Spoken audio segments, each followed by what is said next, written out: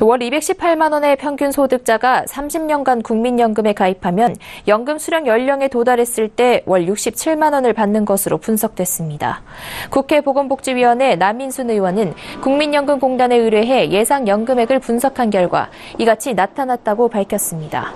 분석 결과를 보면 2016년 말 평균 소득 월액 218만 원을 버는 직장 가입자의 가입 기간이 20년일 때는 월 45만 원을, 30년일 때는 월 67만 원을 받을 것으로 나왔습니다.